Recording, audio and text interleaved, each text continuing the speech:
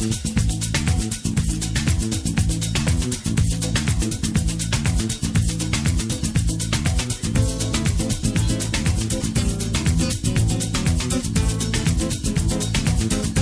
It's about giving people the opportunity to visit private studios that they don't normally get to see the rest of the year.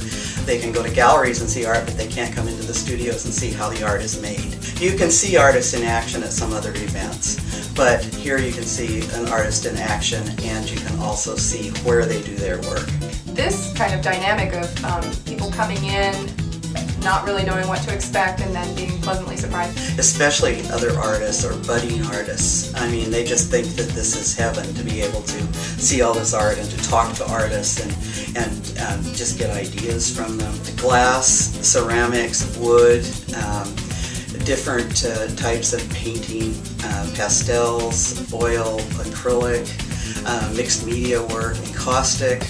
Um, it just runs the gamut. Um, Large, small, everything yeah, in between. yeah. And we hope that you can come on down and visit us at the Edmonds Art Studio Tour. It's your one opportunity to see everybody's studios. We're closed up tight the rest of the year, um, working.